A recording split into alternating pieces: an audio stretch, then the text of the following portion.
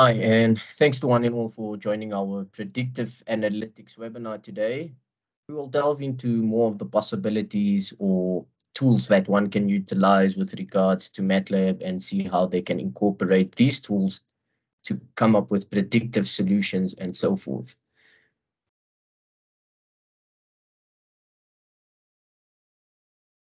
Opti-Num Solutions is based over here and was born out of the University of the Witwatersrand in 1992 and are the sole distributors of MathWorks tools in Southern Africa.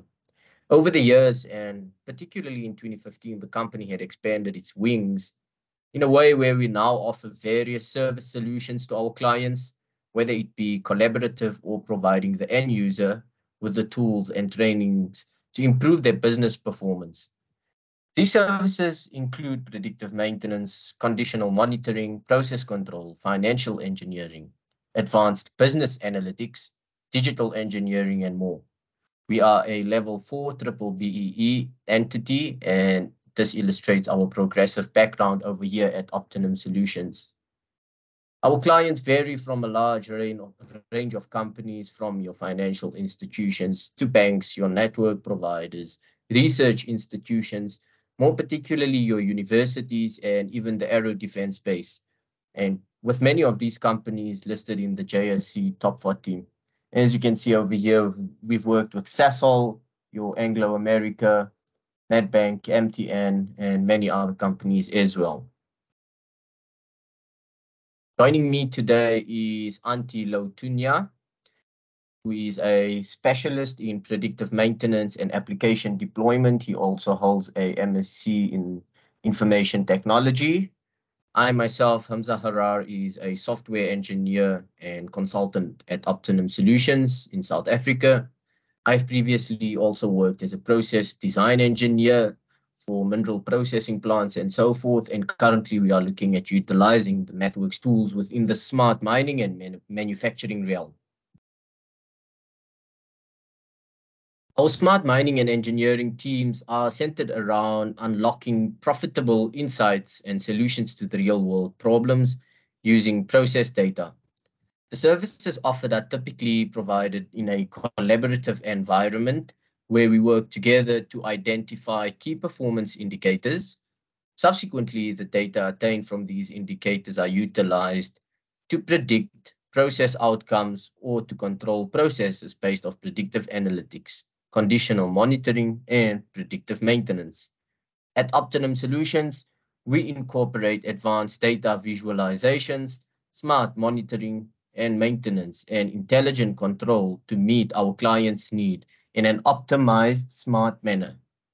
That's it from my side. Antti will now be taking over. Thank you so much. Okay, thank you, Hamza. Can you hear me well? Yes, we will hear you well.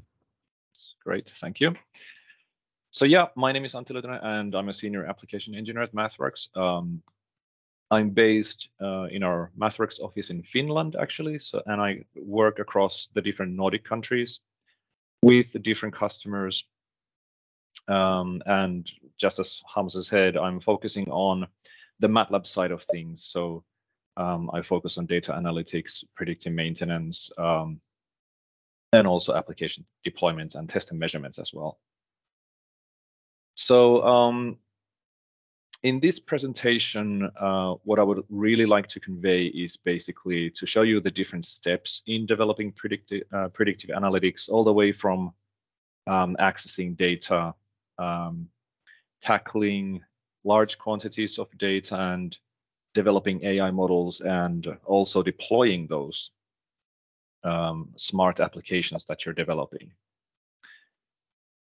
And uh, in doing so, I would also like to highlight the latest and greatest MATLAB features that help you be more productive in, in developing those analytics. So here's the brief agenda. So I'll start by just introducing a few key concepts about data analytics, um, and then we'll spend most of our time uh, in MATLAB looking at a case study. And then if time permits, uh, we can have a Q&A session at the end. So let's get started. So what do we mean by data analytics? Well, it's a, it's a fairly simple definition. So typically we want to um, find some valuable information in the data and make some smart decisions based on the potentially large quantities of data. And there are different levels of um, data analytics. The most basic level is descriptive analytics, where you typically look into the past and try to understand what happened. Then we have something called diagnostics, uh, which tries to answer the question, why did something happen? Why do we see this phenomena um, in the data? And then we have predictive analytics, uh, which is more forward-looking. Uh, we're trying to understand what will happen. Uh, in it could be something like trying to estimate when a piece of machinery might fail. So basically, how much longer can we operate the machinery? Or something like that. And then we have prescriptive analytics, uh, which answers the question, what should be done when we know what might happen. And this is typically um, an optimization problem. So if you're, for example, running or operating power plants, prescriptive analytics would be to optimize the running of the power plants to minimize cost, but still to uh, produce enough energy. And there's typically a certain kind of workflow associated with any kind of data anal analytics. So um, obviously we need to access data. Um, so your data might be stored in files, uh, databases or data warehouse has um, some kind of data historians or even measurement hardware that you might access. And MATLAB can, or MATLAB supports a very wide range of uh, different types of data sources. Um, once you can access the data, um, you typically need to clean it. So you need to deal with outliers and missing values. And also sometimes you need to transform the data or organize it in a different way. And once this is done, then you can actually start developing some models. And this is typically where you use techniques like machine learning or deep learning. Um, and as part of this step, you typically also um, tune the hyperparameters of the model and maybe do some, well, you should always do some model validation. Um, and once you have an accurate model and you have tested the model that it works as you intended to work, um, then obviously you want to operationalize that. It doesn't help if the model is living inside your MATLAB environment. You need to deploy it somewhere. And with the MathWorks tools, uh, you can deploy your models into different environments like uh, cloud environments or even embedded systems. And today we're going to mostly focus on uh, the first three steps, but we'll also discuss the last step. Okay, so at this point, let me hop over to my web browser. Um, and what you see here is a web application that allows us to predict the energy demand for different regions within the state of New York in the US.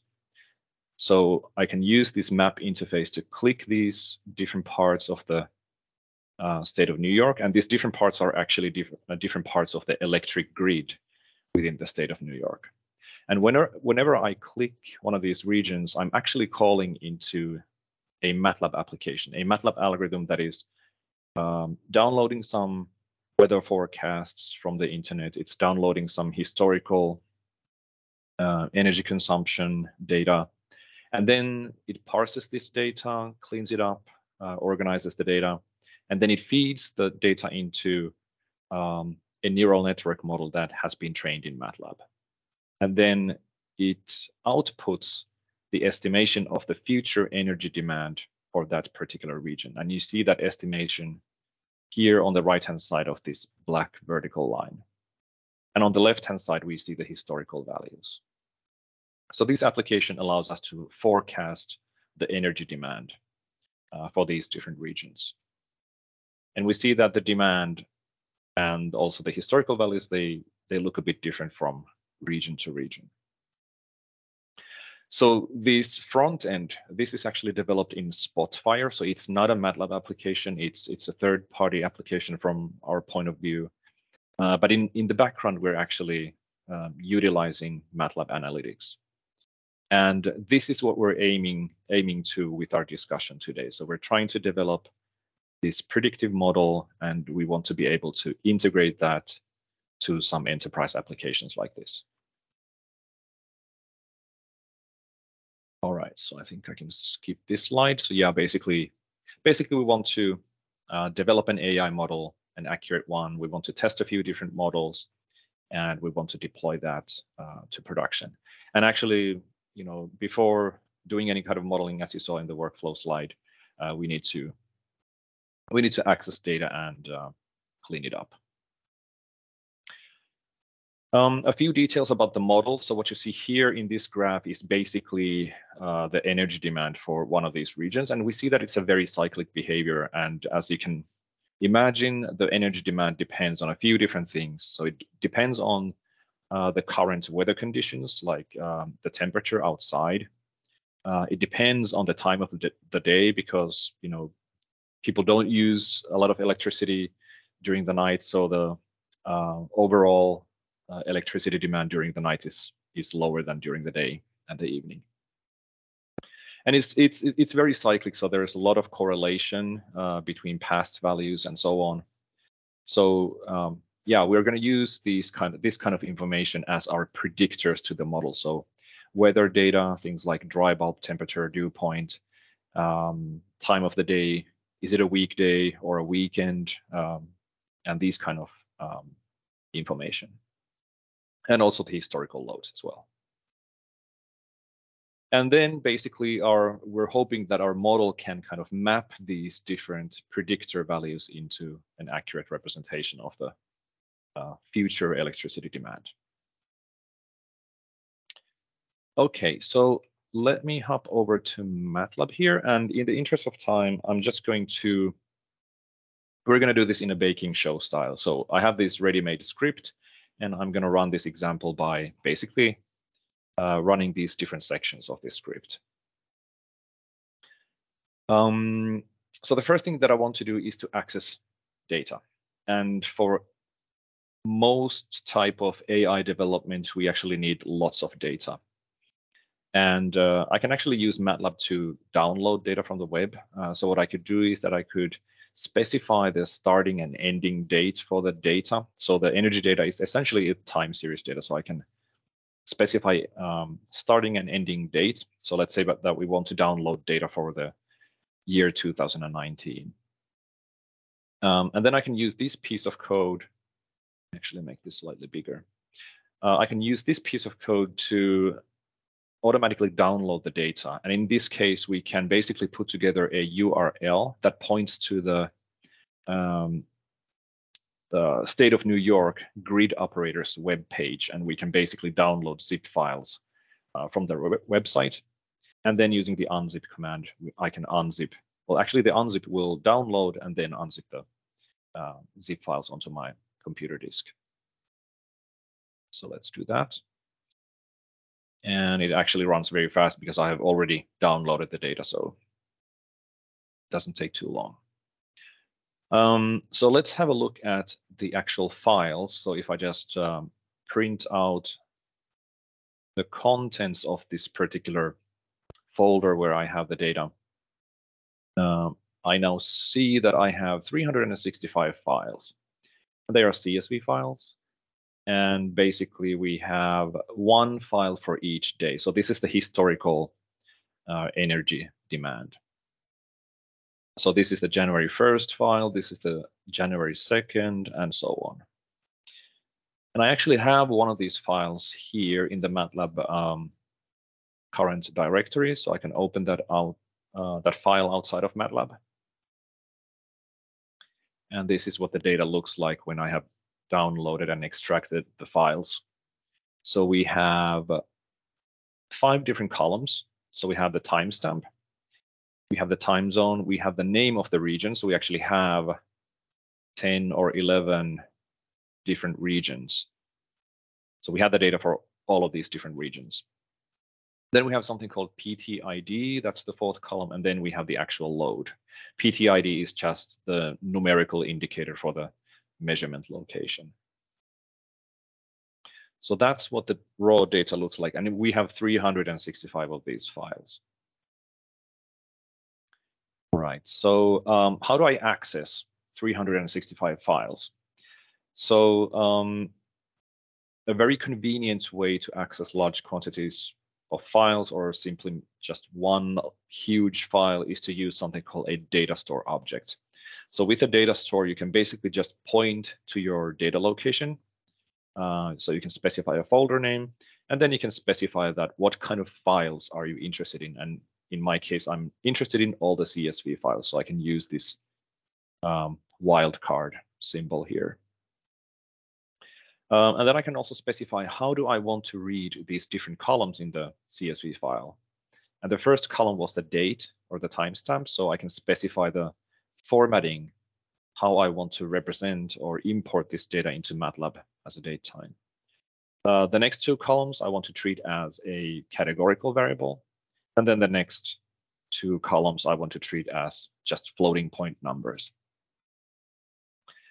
And for our analysis, we don't actually need the PT ID or we don't need the time zone. So we can basically, using the data store object, um, I can specify the column names that I'm that I want to import and read into MATLAB's memory. So let's run this section. Uh, never mind the warnings, they're just uh, nothing dangerous. And if we call the preview method of the data store object, we we get this nice preview. And we haven't actually imported or read any data into MATLAB, so this is just a preview of the data. Now, the data store objects, they are quite convenient. So, um, and if I wanted to actually read some data from this location, this folder where I have all these CSV files, I could use, for example, the um, read command on the data store, create a new variable called data. And then if I open up this variable and look at it in the variable editor, we see the same, same kind of tabular view. And now that I called read, I actually read the data from the first file. And now my data store is actually pointing to the second file in my data store. And if I read again, you can see that the data changes. So the load values change, and that's because I'm reading the second file. And now my data store is pointing to the third file. So this is a very nice way to kind of iterate and quickly read data from your uh, from the location. And if I wanted to go back and start reading from the beginning, I can just call reset data store. Okay. Um, well, now that we have this data here, I can start exploring the data. So I can maybe uh, select the timestamp on the x-axis and hold down my control key and then click the load, go to the plots and visualize the data. And let's just zoom in a bit into this data. Sorry. There we go. And we see that it, it looks a bit weird. Um, and that's because we have these um, repeated timestamps here. So we have a measurement for the same same time from all these 11 different regions. So we have midnight, we have the same timestamp here and so on. So um, yeah, I think this is something that we would like to like to fix in the future. Um, so this data set, so one file, it's actually not that big. So it's only like something like 160 kilobytes. So we can actually call the read all function to bring all of this data into MATLAB all at once. Uh, so now MATLAB is basically reading or importing the data from all those 365 files and putting it into this variable nyiso raw. And it takes a few seconds because MATLAB is basically opening uh, almost 400 files. And here we see the first rows of the dataset. So looks familiar. But we saw that we have these repeated timestamps. So what I would like to do is to kind of reorganize this data so that we have these, we have the load values for these different regions in, in their own separate columns. And this is called unstacking. So I can basically, uh, yeah, I, will just use the unstack command in MATLAB. And uh, basically the name variable or, or the kind of unique values of the name, they become their own separate columns. And I think that's more clear when you actually see the result here. So now we have these different measurements from different regions in, in their own separate columns. And now we don't have that repeated timestamp. So we only have like one unique timestamp. All right, so now if I, yeah, I can have a look at the unstacked data. And now I could actually go ahead and take one of these regions and plot the data. And now we see actually one year worth of data for this particular region that I selected. So we see that the energy demand is highest during the summer months, or at least on the Northern Hemisphere summer months. Um, and that's probably because people are using a lot of air conditioning, um, and maybe during the winter months, they're using a lot of heating. So we see this kind of local maxima uh, appearing. Um, if I zoom into the data, we actually see the um, weekly behavior. So yeah, I think it's somewhat obvious here that we have these like slightly lower peaks, and those are during the weekends. And then we have these groups of five, which are the weekdays. But yeah, it's a very cyclic, cyclic behavior. But we do have like different trends. So we have the yearly or monthly trend, and we have these like weekly trends. Okay. Um, yeah, so let me actually, at this point, let me go back to the slides. So yeah, I used data stores to access the data, large quantities of data, but you can also use it to uh, access one huge file or yeah, I mean, I had a lot of a lot of small files, but you can also use data stores to access big files. Um, and we actually do have multiple different types of data stores for different types of data. So we have image data store for images, we have database data store for databases, um, but if you have a like a very exotic file, uh, but if you have a way to read the data from that file, you can actually also define custom data stores. Uh, so you just need to provide your own custom reading function. Um, yeah, and it's a very convenient way to iterate uh, through the data. Right. Um, so as I mentioned, so this is basically time series data that we're working with. Um, and what I would like to do next is to basically convert my table data type into something called a timetable. And that's a really convenient data type to work with time series. For example, I can use this uh, isRegular function to quickly check if, if my sampling rate or if the sampling interval is regular or not. So let's execute this section. And from this, I get a logical zero. So MATLAB says that it's, you know, it's not regularly sampled. And we actually see that over here as well. So the time series starts uh, with regular sampling rate, but then we have these irregularities here. So that's actually quite clearly visible. So, so that's also something that I would like to fix um, moving forward. And if we just look at the unique sampling intervals. So we use the diff function on the timestamp uh, and tabulate that. We see that we have pretty much all the possible values for the sampling intervals. So like starting from one second, going all the way to the maximum value, one hour, five minutes. But it looks like most of the values are sampled at uh, five minute intervals. So that's maybe the intended uh, sampling rate. Okay, so what I want to do next is to basically force my data set to be at this five minute interval. And I can do that by using something called retiming. And what you see here is basically, you don't see code here. And what you see here is something we call a live task. So it's a small interactive app that you can actually place into your MATLAB scripts. And um, when these were first introduced, I didn't actually like these at all. I think they were kind of clumsy, but since then I have actually started to like them because even if you are a good programmer, you know how to use MATLAB commands and you know MATLAB is high level language. It's easy to do things programmatically. But sometimes you have to go into the documentation and you know read the documentation and that might take a few minutes. But using these live tasks, what I see is the biggest value is that you don't have to look at the documentation because it's so obvious. You just, you know, it kind of guides you uh, through the workflow.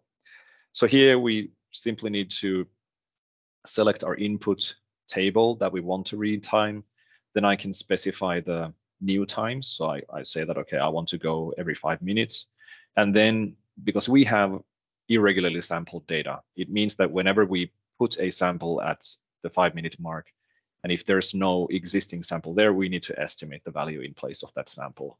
So we can use different kinds of interpolation methods to uh, put a value um, in there. So basically, yeah, estimate a value. So yeah, let me run this. And by the way, you can uh, put these live tasks into your script if you go to the insert tab in MATLAB and here you see uh, a large collection of tasks. So there's there are tasks uh, related to pre-processing data, um, managing tables and timetables, and you'll see me use synchronize. What else? Yeah, you could also do the unstacking uh, using these interactive apps. And we used the retime right now. Right, so yeah, here we see the outputs, and now we see that we have nice five minute intervals across the entire data set, and um, this one confirm, confirms that. So 100% of the samples are sampled at five minutes. Great, so um, yeah, let's then do some quick visualization. So let's just use the plotting command to take one of these regions and examine how it looks like. So I think I already saw in the previous visualization that there were some outliers there. And here we see those quite clearly. That's for some reason, we have these weird values here. These are essentially, yeah, I think they are like zero values. Yeah, so for some reason, you know, we have a couple of values that go all the way to zero, and that shouldn't be possible, especially if they're like just isolated samples. So um, maybe we also want to fix those. So the strategy that I'm using here is to basically tell MATLAB that whenever I see a zero value, consider that as a missing value. So replace those zero values as um, missing values. And then I can use the clean missing values live task to fix that or basically estimate um, or replace those missing values with an estimate. So again, we just choose our input data. We take the Dunwoodie column. This is one of the regions, and we'll replace um, that column with the uh, new values, which might be partially estimated. And we can once again use linear interpolation to fix those values. So let's run this task. And here we see that we have now basically two values uh, uh, replaced. So let's look at the visualization maybe more closely to see how the, those values were estimated or if they make sense. So here we see the estimated value that used to be a zero value and it looks like to be looks looks to be a reasonable estimation. So that's good. Okay, so um, that was just an example how you can pre-process the data, you know, access data using data stores and clean the data using live tasks, uh, fill the missing values. Um, you can also choose, so when you put these live tasks into your script, you can also choose to um, look at the code. So this is actually the code uh, behind that live task. So yeah, like I said, it's not too difficult to do things programmatically. So the main uh, command here is fill missing. Um, but then, you know, there are many different ways you can use these functions. So, you, you know, you may need to go to the documentation of MATLAB and look at uh, like what kind of um, parameters uh, you would like to use. But the most of the code is actually uh, producing the visualization for the results. Okay. Now, um, we also had another piece of the data, and that was the weather data. So, so far we've been working with the historical energy data. So uh, let's go ahead and um, access the weather data. So in a similar fashion, we can basically uh, download the data from the from some kind of weather service. Um, I have commented out this piece of section because it actually takes a lot of time to download the data. So I already have it on my on my computer, so I don't need to do that. Uh, and as in a similar way, I can use the data store to access the data. So just pointing to the folder, um, and then, yeah, I want to look at the uh, weather data from 2019. So I'm using this wildcard. And again, we can use the preview to kind of get an idea and understanding of the data. Um, so this is what the weather data looks like, and we can see that there's much more columns in the data, and it's much more messy. We have missing values and and so on. So yeah, let's let's do some pre-processing. Um, the actual columns that we need for our analysis and, and to develop our model, we simply need the temperature data and also we need um, the date so that we can synchronize and combine the um, energy data and the weather data. And we also need the station ID uh, so that we can find the station which is located in, in that particular um, region of the state of New York. So um, yeah, let's use the data store object to select just four columns from the data and let's do some preview. So here's what it looks like. Um, and the temperature values, um, so this is something that I needed to check on the uh, on the weather service website. Uh, the temperature is represented in such a way that this is basically in degrees Celsius and it's multiplied by 10. So this value here is actually 6.7 degrees Celsius. And then this comma and this number here, this is just some kind of an identifier. And it's a string variable, so we see the double quote, quotes here, so we can use some string uh, manipulation to extract this temperature. Um, but this weather data, this actually is, this can potentially be very big.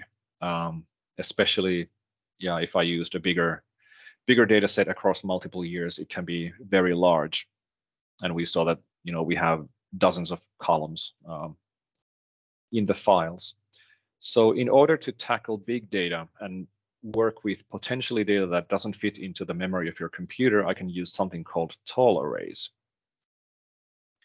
um, so what i'm doing here is that i'm simply taking my data store and then converting that into something called a tall array.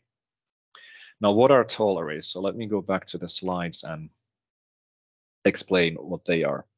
So it's a data type that was designed to work with out-of-memory data, something that potentially doesn't fit into the memory of your computer. So if you try to import that data, you might get out-of-memory errors. Um, you access or you typically create tall arrays um, using or you create them from data stores and it's actually the data store that defines how you how eventually you'll read uh, data when you're processing tall arrays. Um, arrays they can have any number of observations, billions, hundreds, hundreds of billions. Uh, we don't care, uh, but that's why we call them tall arrays. Uh, but in MATLAB, they look like just normal MATLAB tables or matrices. And you can use most of the built-in MATLAB functions and also many functions in uh, different toolboxes like the statistics and machine learning toolbox. So you can develop AI applications using tall arrays. So arrays, they might or, or, or the data that you access using tall they might that data might not fit into the memory of, of your computer. So what MATLAB does is that it automatically chunks or kind of divides the data set into smaller pieces that do fit into the memory for a computer, and then it processes uh, those smaller chunks. But MATLAB does keep track of the intermediate results, and once it's processed all the smaller chunks, in the end, it will combine the results and give you the result that you're expecting. Uh, the processing code is the same, so yeah, um, you can use the same commands.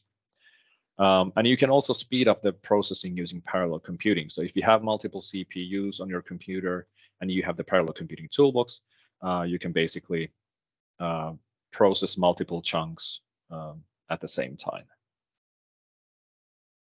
And if you have access to a computer cluster, um, that obviously can further speed up the process, especially if you're working with um, data sets that are terabytes in size. So that's what the tall arrays are. So basically, yeah, what I'm what I'm doing here is that I'm create, creating a tall array, but then I can use the same standardized missing command um, to basically deal with these weird values um, like this one. And then I'm just using the rm missing, remove missing value to, you know, remove those missing values. And then I'm just using some string processing to extract the temperature value. So I'm using the extract before function or method of the string class, extract anything before the comma, and then convert that into double and divide by 10. So that's then our temperature value. Um, what else? And then I'm also calculating the mean value uh, for the temperature, both for the dry bulb and the dew point temperature. Um, this is not something that we actually need, but this is just for um, for demonstrational purposes. So now I executed this code and it actually ran quite fast. And then if I look at this, um, the result from the mean computation MT, that's actually, it says that it's unevaluated. And this is because uh, you have to explicitly tell MATLAB when to actually start computing these results. Uh, so before you do that, MATLAB actually just keeps a recipe or keeps track of the operations that you want to do with the tall array. And then when you actually uh, execute these commands, and you do that by using this function called gather. So if I want to gather this um, computation result, uh, you use syntax like this. So this will actually then start computing the results. And the reason why you need to do this is because MATLAB is trying to optimize uh, or minimize the number of passes it needs to do uh, through the data um, so it tries to be as efficient as possible or quick as possible. So it might actually compute multiple results um, uh, when you're running through the data. But here we see the results. So these are the mean values for the dry bulb and the dew point temperature. And um, we actually use some filtering already here. So when I access the data, I accessed only the 2019 data. So it's actually not that big. So I could use the gather for the entire um, tall array. So this will basically import all of the weather data into MATLAB's memory. But this technique, this technique of using tall arrays, this would work. You could actually process data on your laptop, even if the data was 30 terabytes in size. It would take long potentially, but you wouldn't at least get any out of memory errors. All right. Um, now, in the interest of time, so let me skip the subsequent steps in processing the weather data because the steps are quite similar to um, to processing the energy data. So there's not much new new things there. So uh, I'm just going to hop over a few sections and from here on, I'm just going to assume that I have cleaned up weather data and I have cleaned up um, energy data. So what I now need to do is to synchronize these two tables. So the other data, the weather data is, is sampled at one hour. Um, sampling intervals, whereas the energy data is at five minute intervals. So how do I synchronize those? So once again, I can use one of these live tasks to do that. So I just select my tables or timetables that I want to synchronize. And then I can choose how do I want to synchronize. So in this case, I want to take the intersection of those two tables. And this means that I'm actually discarding quite a lot of observations from the energy data. So the resulting table will have um, a sampling interval of one hour. So let's run that. So now we see that our sampling interval is one hour, but we have basically now combined uh, the energy data. So we have the energy consumption for these different regions, and at the last columns, we have the uh, temperature data. So we have the dry bulb and the dew point temperature for all these different regions. Now, as you saw from the dashboard that I used, all these different regions, the energy demand behaves in a different way. Um, so we should probably model these different regions separately. So what I'm doing here is that I'm taking one of these regions or the data for one of these regions. Let's take the New York City, for example. And for now, we can discard um, the data from the rest of the regions. So let's take that data, and then we can add these additional predictor values. So we can kind of start uh, extracting information um, that affects the energy demand. So we knew that the hour of the day that uh, affects the energy demand, the month of the year. Um, so I can just take my um, date variable in the in my table and I can just extract the hour or the month and I can put that into a new column in my data set. Um, similarly, I can just extract the weekday. So this is a number ranging from zero to six. Um, and then we can also check whether it's a weekend or not. So this is just like a logical, logical variable, zero or one. So let's run that. So this is now what our data set looks like. So we have the load, we have the hour of the day, month, day of week, and then a logical variable, whether it's a weekend or not. Um, finally, we, we saw that there's a heavy correlation. So the pattern tends to repeat itself um, across the different um, days of the year. There's some slight uh, trends uh, due to the different months, but there's a heavy correlation. So what I would like to do here is to examine the autocorrelation of the load value. So I can just use the xcorr function, cross correlation. And if I just pass the load data and nothing else, it will basically calculate the autocorrelation for, uh, we can say 200 hours. So that's kind of the lag range uh, for the autocorrelation. And if we plot the autocorrelation function, this is what it looks like. Um, so the correlation is 100% uh, with the data itself with no any kind of shifting. Uh, but here we have a local maximum. And this is basically, yeah, at lag 24 hours. So there's almost 100% correlation uh, with the load value with the load value shifted 24 hour 24 hours ago. And here we see another local maximum, and this occurs um, exactly 168 hours ago, and this translates to seven days ago. So as additional predictors to our dataset, we can we can use the uh, load values 24 hours ago and 168 hours ago. So I'm just adding two additional uh, variables, prior day load and prior week load. And that's just the load value shifted by 25, uh, 24 hours and 168 hours. And this is now what our final uh, data looks like.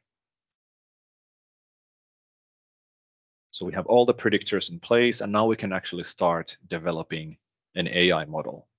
So we want to train a model that can uh, based on these predictors, we want to estimate the load value. Okay.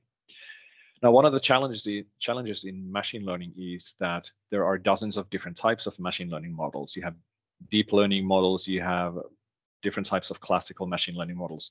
How do you find the model that gives you the most accurate results? Um, and to help in exploring different kinds of models, we have introduced these different interactive apps uh, to train multiple models.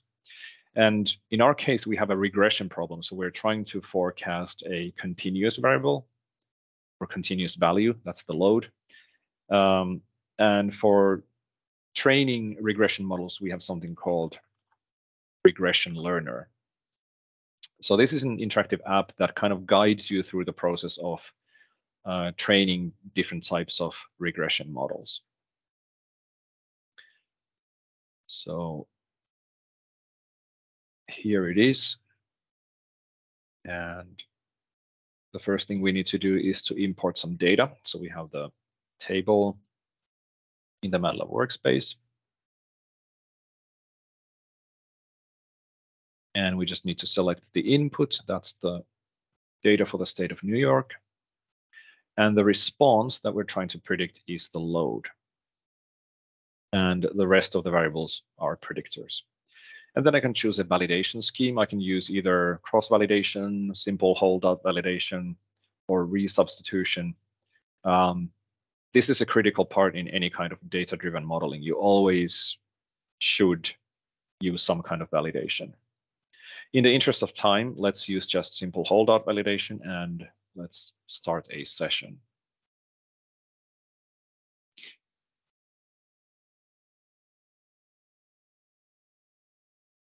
So here we see the response plot. So this is just uh, the values that we're trying to predict.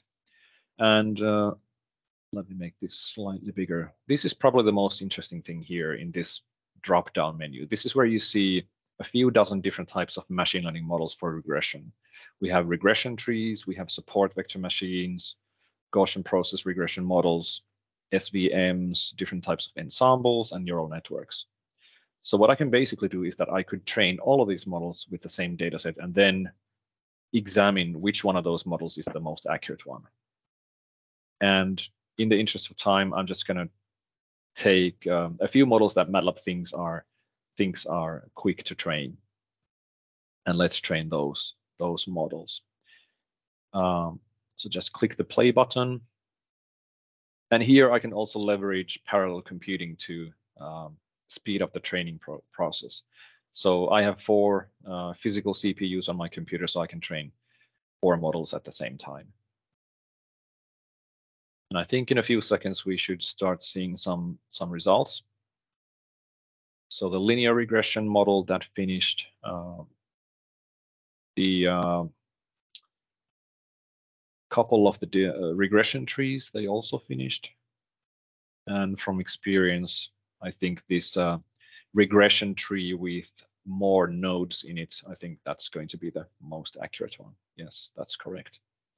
So yeah, we see the accuracy uh, defined by the root mean squared error value. So that's calculated between the predicted values and the uh, actual values.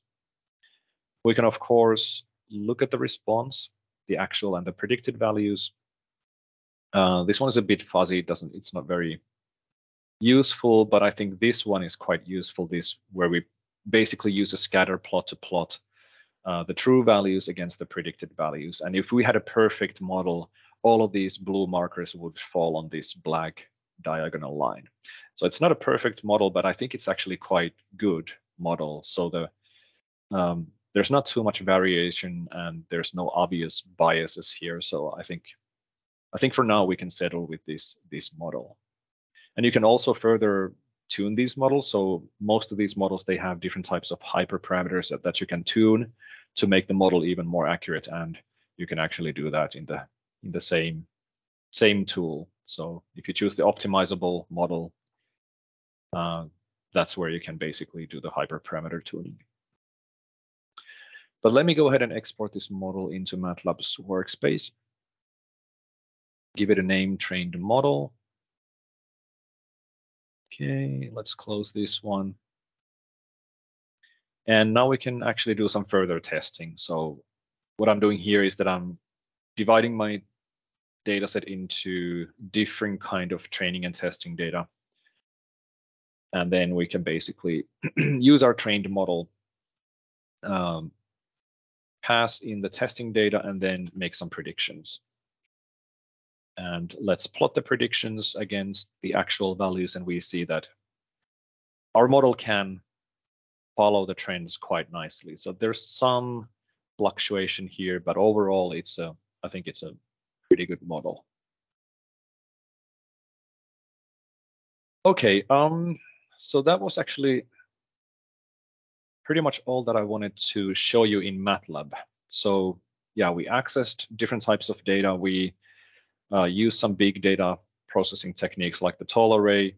And then to explore different kinds of machine learning models, you can use interactive apps like the regression learner.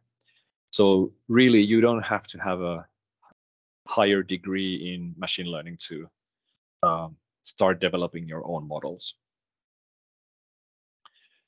So, um, so that was the modeling step. Now we only have the deployment step um, left. So let me go back to the slides and describe you what kind of deployment options uh, we have. So we actually have two different paths for deployment. So if you're targeting embedded hardware, um, so if you want to deploy your MATLAB algorithm, algorithms on microcontrollers or PLCs, uh, or, those those kind of equipment or uh, hardware, uh, you can use the so-called coder products to actually translate your MATLAB code into other programming language like C, C++.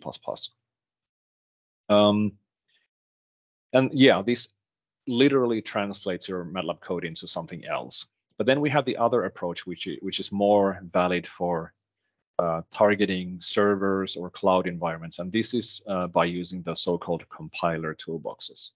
So with MATLAB compiler, you can generate web apps that people can access through their web browsers. You can package apps into Docker containers and so on. And then with an additional tool toolbox called compiler SDK, you can generate um, different types of software libraries that you can integrate integrate with other other software like Python applications, for example. Um, so compiler SDK, it doesn't translate your MATLAB code, so it just wraps your MATLAB code into a suitable um, artifact like a Python library or Java library. Uh, with the MATLAB compiler SDK, you can also create microservices. So you can basically automatically create a Docker container that includes uh, your application, the MATLAB runtime, and it also creates an HTTP endpoint automatically to your Docker container that you can run anywhere, and you don't need to have a license for MATLAB. Uh, for this um, Spotfire application that you saw me using in the beginning, um, so the front end was developed in Spotfire, but in the back end, we were actually using something called MATLAB Production Server. So MATLAB Production Server is it, it is software that you can install on um, virtual machines in the cloud or some on-premise servers. Um, and Production Server essentially exposes your MATLAB algorithms as a scalable uh, web service that you can call through REST API, for example. And that's a turnkey solution. So it's a very convenient way of uh, deploying your MATLAB applications. Okay, so I think we're coming to the end of the presentation, so we just have a few minutes left. So what I wanted to convey is that using MATLAB, you can access, you know, uh, different data from different sources. So we support business data sources, engineering data sources, things like OPC servers or um, things like OSIsoft PI servers and, and things like that. Um, and you don't have a PA, need to have a PhD in machine learning to develop AI models. So you can use the interactive apps like the regression learners to quickly explore different types of AI models. And finally, our deployment options allow you to deploy MATLAB analytics in a very flexible way. So you can deploy to embedded hardware or cloud environments. And just as a side note, um, even machine learning applications, so models like what I just developed in MATLAB, you could actually convert those into C++ code as well. Okay, um, so yeah, thank you very much for attending, uh, and I think we have a few few minutes for for questions if if you have any. Um, Antti, I see there's one in the chat from Charles. He's asking, how do you know ensure that the model is not overtrained? Right. Um, so I think that's when um, you, you can find out by using validation. So you would basically train your model um, with a subset of your data set, and then you would basically, and you, you get a certain kind of accuracy for your model with the training um, data. But then once you have trained the model, you test the model with uh, a testing set. And if you get similar accuracy with a testing set, I think it's fairly safe to say that um, your model is well generalized and it's not overfit. So validation is the is the key. Thank you for the question. Very, very good question.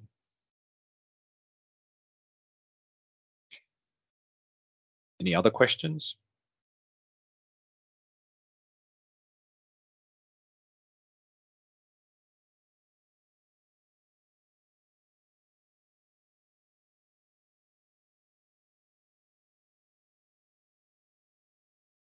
If not, then I'll wish you a very pleasant day. And I guess it's also lunchtime in South Africa. So yeah, have a very good day. And uh, I'm sure the folks at uh, Opti-Num can answer any additional questions. So thank you very much. Thank you. Bye-bye. Bye bye. Thanks. Thank you. Bye. Thank you. Bye bye. Thanks, Antti.